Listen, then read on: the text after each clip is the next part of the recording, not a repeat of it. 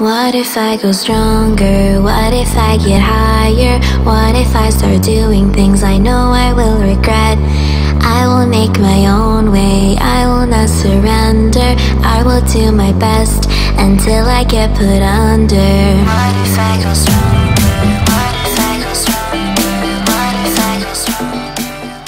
In nearly every one of our reviews of Buick's Tiny Encore since the subcompact crossover went on sale in 2013, we've called out its remarkable resemblance to a shiny potato. There, we did it again.